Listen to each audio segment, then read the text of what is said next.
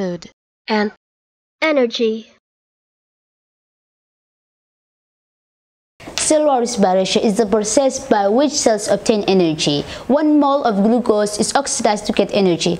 It carries a mitochondria. This is the equation. So 1 mole of glucose plus 6 moles of oxygen produces 6 moles of carbon dioxide and 6 moles of water and 38 ATP. Any energy is required by the cell needs adenosine triphosphate which is considered as universal currency of energy in the cell.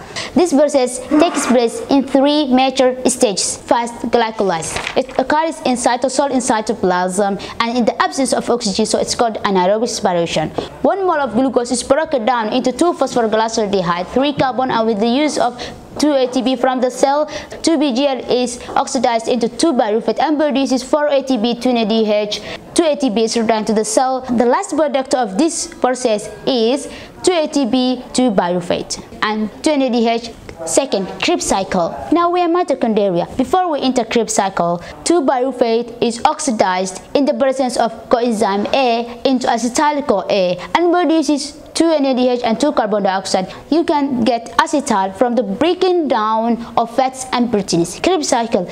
Each mole of acetyl-CoA Chinese Krebs cycle where CoA splits off. Acetyl 2 carbon combined with oxaloacetic 4 carbon to form citric acid 6 carbon. At the end of the reaction, citric acid is formed again. During one cycle, the compound produced are 2 carbon dioxide, 3 NADH, 1 mole of ATP, 1 mole of FADH2 and it, it's repeated twice and it doesn't need any oxygen. That electron transfer chain. It occurs in mitochondria in many stages. First, cytochromes. The sequence of coenzymes present in inner membrane of mitochondria that carry the electrons at different energy levels. Second, oxidative phosphorylation. ATP is formed from ADP and phosphate group by the use of energy released during the passage of electrons that are carried on the cytochromes from high to low energy level that two electrons combine with two proton and one oxygen to form water. Fourth, each NADH produces 3 ATP while each FADH2 produces 2 ATP. So let's take a look.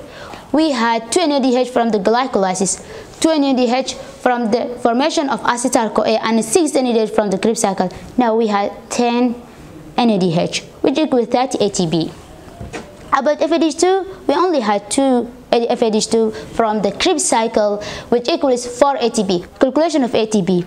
2 ATP from the glycolysis, 2 ATP from the Krebs cycle, that's 4 ATP from the electron transfer chain, it equals that 8 ATP. Stay healthy.